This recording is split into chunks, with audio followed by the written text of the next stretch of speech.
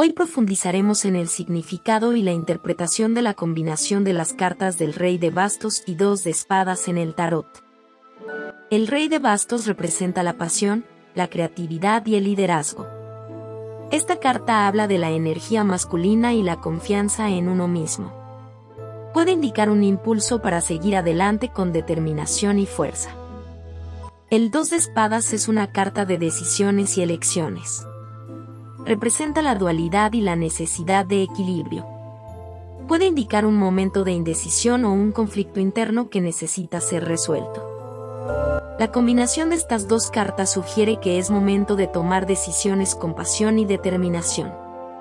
En el ámbito amoroso, puede indicar la necesidad de equilibrar la pasión con la racionalidad. En el ámbito profesional, puede señalar la importancia de tomar decisiones con confianza y liderazgo. En resumen, la combinación de estas cartas enfatiza la importancia de tomar decisiones con pasión y confianza, manteniendo el equilibrio y la claridad mental en todo momento. Gracias por mirar.